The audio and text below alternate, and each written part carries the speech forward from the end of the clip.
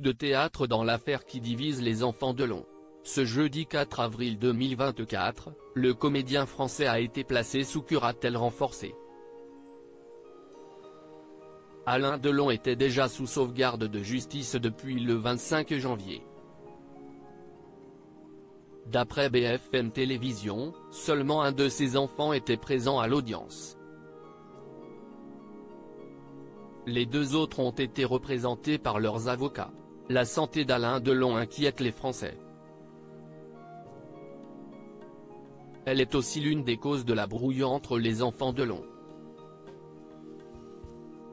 Anouchka, Anthony et Alain Fabien Delon étaient d'abord tous les trois vents debout contre Hiromi Rollin, chassé du domicile de l'acteur.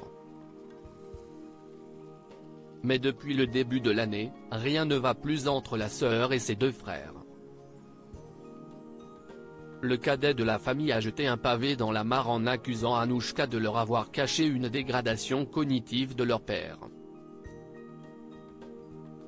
Alain Fabien et Anthony ont alors déposé une main courante contre leur sœur. Les deux hommes redoutant une forme d'emprise d'Anouchka sur leur père. La maman de Lino a toujours fermement réfuté ces accusations. Les trois enfants se déchirent depuis plusieurs mois par réseaux sociaux interposés.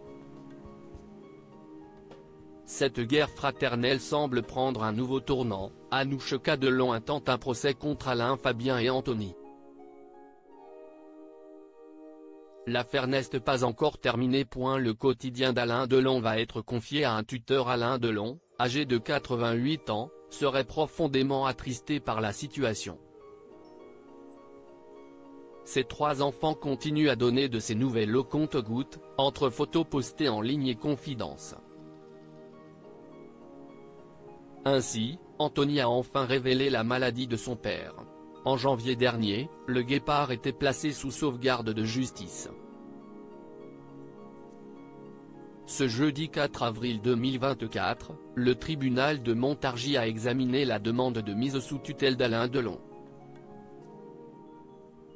Le voilà placé sous curatelle renforcée, au terme d'une audience de deux heures. D'après BFM Télévision, il s'agit du stade le plus haut de protection d'un majeur, c'est-à-dire qu'il ne peut rien faire. Pas de dépenses, pas d'achat de biens. La gestion de son quotidien sera donc confiée à un tuteur. Cette décision a été rendue en présence d'Anouchka et de son avocat, ainsi que de l'avocat d'Alain Delon. En revanche, Alain Fabien et Anthony ont été représentés par leurs avocats.